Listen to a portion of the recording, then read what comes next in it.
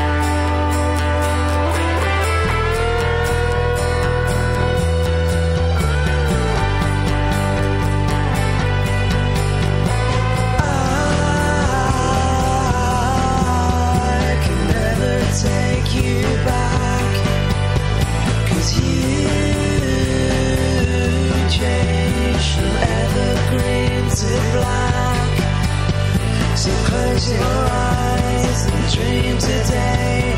The truth is in the words you push away.